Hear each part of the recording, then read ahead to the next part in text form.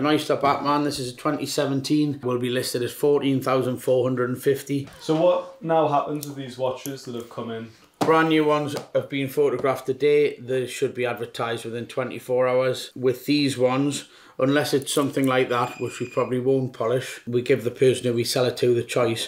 Everything else will be lightly touched up professionally uh, to Rolex standard and it'll be on the website before the end of the week.